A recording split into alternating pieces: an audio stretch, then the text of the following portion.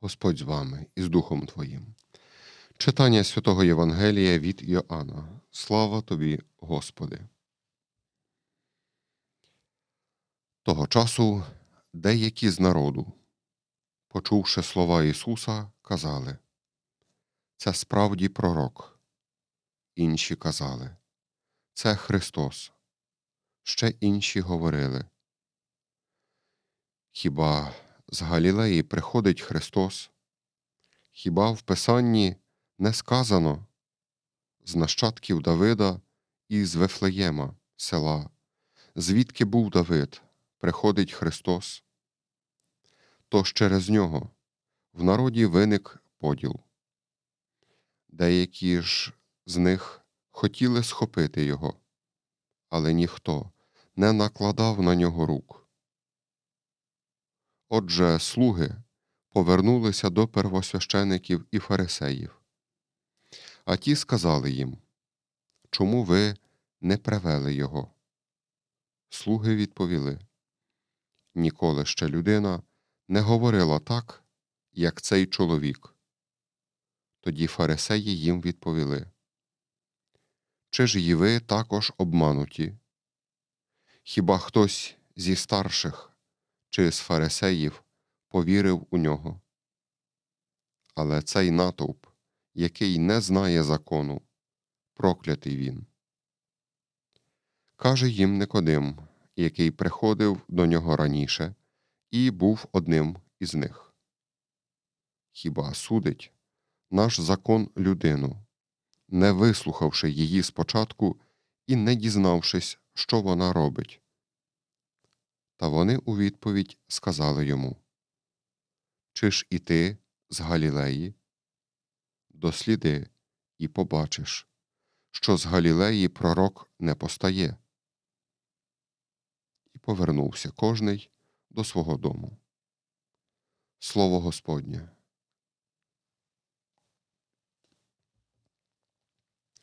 Дорогі брати і сестри, сьогодні ми з вами чуємо про конфлікт, який назріває через Ісуса.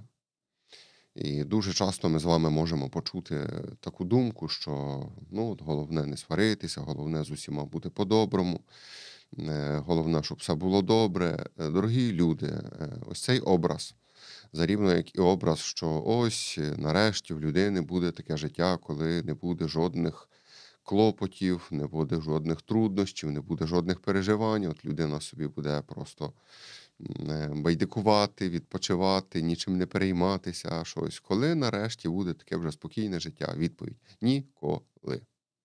Поки людина живе, вона весь час обтяжена турботами, клопотами, переживаннями. Е, Це те, що стосується ось цього відпочинку і стилю життя, що ось щоб все було спокійно. Ні, ну це не про життя людини і точно не про життя людини християнина. Наступна справа, е, якщо йдеться взагалі про християн, ну то християнство від самого початку е, ніколи не було таким, яке б породжувало, так воно породжує мир, з нього виходить е, мир, ось цей внутрішній, але це ніколи не було відсутністю конфліктів. Це завжди було пов'язано з дискусіями, з розмовами, з суперечками аж до мучеництва багатьох визнавців Ісуса Христа. Так що, якби хтось думав, що ось головне, щоб ні з ким не сваритися, то це не християнство, це пристосуванство. Е, ці дві позиції дуже сильно відрізняються, тому що пристосуванець він заради того, щоб був святий спокій, щоб ніхто його не чіпав, щоб все було добре, щоб з усіма по-хорошому. Ну то така людина радше зрадить свої погляди на життя, на віру, на Бога, е, на поняття гріха, на існування гріха, тільки щоб там нікому не сказати щось негаразд, як то кажеться, не гладити проти шерсті. Отож, християнство і пристосуванство це різні речі, дуже сильно різні. І коли ми розбираємо ось цей фрагмент, ну то в принципі тут аж зашкалює, ну або пригорає, як то тепер модно казати, е, в сучасному такому лексиконі, в фарисеїв саме, які вже самі заплуталися і самі точно не знають, яку мають претензію, е, поводяться нелогічно, непослідовно, нерозумно передусім. Ну, але давайте подивимося по черзі. Отож, ми читаємо, що там того часу деякі з народу, і тут, е, якщо дивитися на хронологію, то це було свято наметів. Е, Що це означає, це свято наметів? Ну, є в нас у християн наші визначні свята, важливі, а є у євреїв їхні визначні свята. І ми з вами, е, християни, повинні знати їхні свята з кількох причин. Ну, передусім, е, коли ми знаємо про ці їхні свята, то ми, коли читаємо Євангеліє, ми при- приблизно хоча б розуміємо, ага, чому там люди пішли тоді, а чому пішли де-інде, а чому там якесь е, теж збіговисько людей було. І починаємо трішки орієнтуватися. Це одна з таких причин. Е, В принципі, мала би бути друга, бо перша, е, щоб ми з вами розуміли старий заповіт. І коли зараз протягом Ексодусу щовечора ми читаємо по фрагменті, інколи навіть по кілька віршів. Вчора найкоротший фрагмент був е, всього кілька віршів, всього чотири.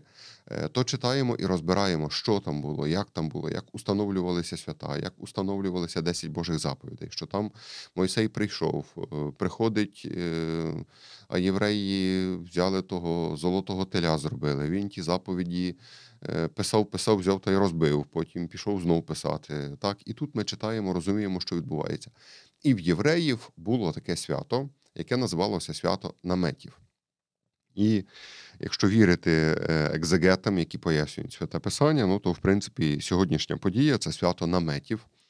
Е, І вона впливає, в принципі, ну, от якби на євреїв. Ми розуміємо ці обставини, що було це свято наметів. Для євреїв це свято наметів було таким образом, що вони є мандруючий народ, який слухає весь час Бога, який йде за ним, який переживає ось е, цю мандрівку з Єгипту, тобто з рабства до е, обіцяної землі. Е, ну і переживають цю метаморфозу, ось це перемінення протягом 40 років. Е, Натомість ми з вами е, в Україні е, також можемо стикатися з цим святом наметів, тому що євреї тоді, коли вже оселилися в святій землі, вони все рівно мали свято наметів, все рівно робили такі шалаші, і е, якийсь час в них жили собі, пригадуючи власне свою подорож по пустелі, е, вихід свій із Єгипту, ось цей так званий Ексодус. Е, Натомість, е, коли пройшли століття, коли євреї вже оселилися в місцях вже не тільки в себе в Ізраїлі, але е, ну, в Ізраїлі це сучасна назва тоді, це була там Палестина, Свята Земля і так далі. Е, Коли євреї оселилися в Європі так само, а зокрема в нас в Україні і е, ще до слова сказати на Поділлі, чи то, скажімо, в Одесі, от є глядачі, е, які регулярно з Одеси дивляться, так ну то можемо бачити певні архітектурні впливи від євреїв, а конкретно від свята наметів. Що ж це такий, що ж це така за річ? Ну, напевно, ви бачили, що в Україні у нас дуже поширено будувати веранду. Е, І для людей може з'явитися цілком природнє і нормальне питання: от навіщо будувати хату, ну, де є стіни, де є там стеля, де є все, і потім ще доліплювати до хати веранду. Ну так, не мов би хати було мало чи мало.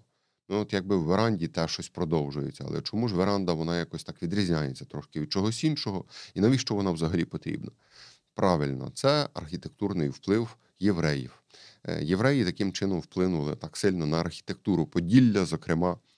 Е, І те, що ми з дитинства, ну ми, я конкретно з дитинства бачив. е, Так, у мене вдома теж є веранда, у багатьох сусідів є веранди, і мало хто собі задавав питання: а чому ж ті веранди були? Правильно, тому що ми дивилися, як будують собі євреї, і собі так хотіли. А в євреїв була ця особливість через те, що в них була хата. Але не було де побудувати в міському середовищі. Вони жили досить компактно, досить тісненько в містах. Е, Їм не можна було десь поселятися, не мали права на купівлю землі. Е, Їм потрібно було відсвяткувати свято наметів. Отож, вони добудовували веранду, якби не змурованого. Е, Ну, не мурували хату як хату, чи там кусочок хати, а робили таку прибудовочку дерев'яну зі склом, гарненьку, е, акуратно оформлену. І це вважалося, що якби це не хата, а це такий намет коло хати. Тобто в веранді вони відсвятковували, е, хоч часом і символічно, це свято наметів. І тепер ми вже з вами розуміємо, ага, тобто, де євреї, де вихід з Єгипту, е, де сучасна ситуація з Ісусом, а де ну, хоча б дитинство багатьох з нас. Ну, мене, наприклад, так що от ми е, в верандах багато часу проводили і не знали, звідки це походить. Виявляється, від наших сусідів, євреїв, безпосередньо. Ну і тепер подивімося на наступний, е, ну, на суть цього, бо я забагато про цю веранду вже розповідаю. І тут ми дивимося, що починається дискусія, починається така неприємна перепалка, е, і відправляють схопити Ісуса. І слуги Ісуса схопити не можуть, кажуть про те, що ніхто ще так не промовляв, як він.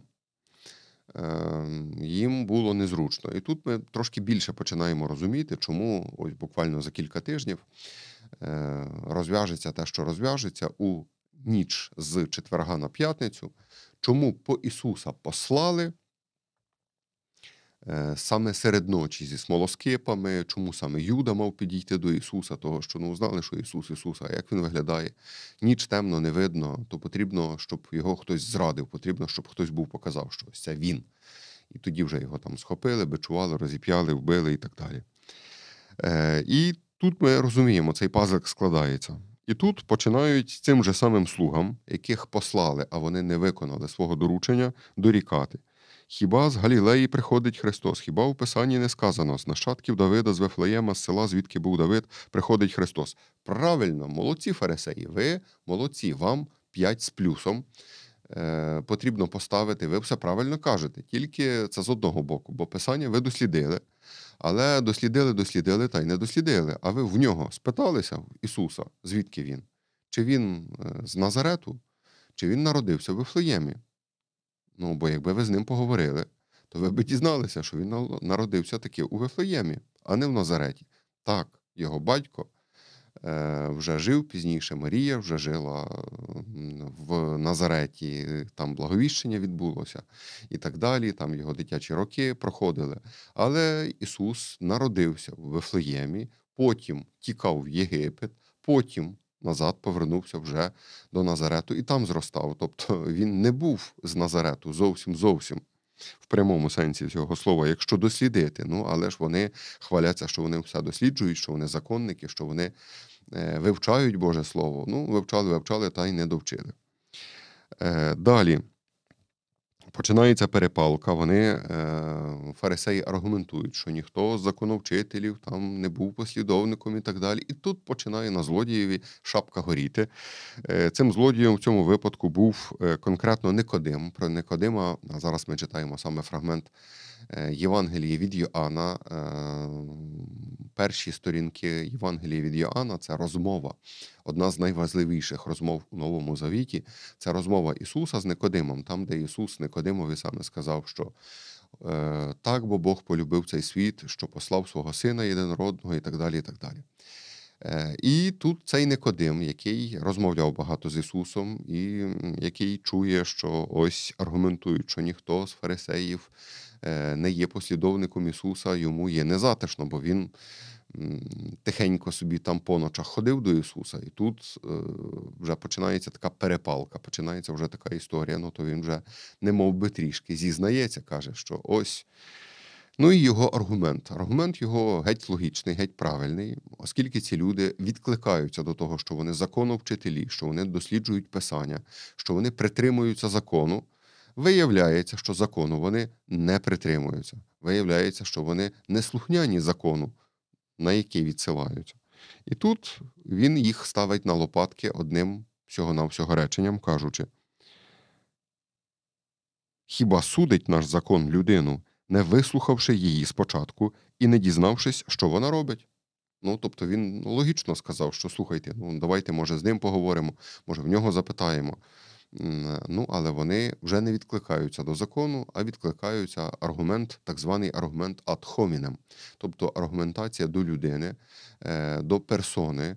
Е, Як то часто десь там є перепалки вже тепер в тих Фейсбуках, інтернетах, кажуть, що не переходьте на особистості. Ну, ось це і воно є. Вони перейшли на особистості. Вони кажуть, Чи ж і ти з Галілеї досліди і побачиш, що з Галілеї пророк не постає. Вони ж знову відкликаються до вже втретє за сьогоднішній короткий фрагмент, що знову ж ти там досліди, а знову ти не знаєш. Вони е, звинувачують Никодима в некомпетентності, тобто в тому, що він чогось не знає, хоча некомпетентні вони, вони не знають, вони е, неправильно кажуть, е, вони не дослідили. Е, Забракло їм трішки ну, терпеливості, забракло їм розібратися з фактами. Е, Вони жили в полоні, як тепер модно сучасно казати, е, в полоні своїх власних фейків чи в полоні своїх власних накрутів. Отож, дорогі братчики і сестрички, сьогодні ми з вами читаємо дуже важливий текст. Бачимо, що християнство від пристосуванства дуже сильно відрізняється. Якби хтось хотів, думав, що ось головне вірити в Бога, і тоді все буде тихо, спокійно, сумирно, е, все буде добре. Так, все буде добре для вічного життя. Але в цьому житті кожного християнина чекають труднощі, проблеми, розборки, конфлікти. Е, І якщо людина хоче бути е, безконфліктна з людьми, то входить в конфлікт з Богом. Якщо людина хоче не входити в конфлікт з Богом, хоче залишатися вірною Богові, ну то мусить війти конфлікт з грішними людьми, яким буде правда очі колоти. Навіть людина не мусить щось про них казати. Достатньо, щоб людина сама тільки щось робила праведно. Е, Сьогоднішній фрагмент перенасичений конфліктом. Сьогоднішній фрагмент перенасичений цими розборками, е, сварками, ем, непорозуміннями. Е, Хай нам Господь Бог відкриє очі, щоб ми розуміли, що християнство це не пристосуванство. Якщо ми молимося чи мріємо про те, щоб все було тихо, спокійно, сумирно, то саме такий підхід веде до зради Бога і до його вбивства. Хай нам Господь благословить, щоб ми вибирали цей неспокійний спосіб життя, вірний йому, попри наслідки і попри те, що це буде нікому не подобатися.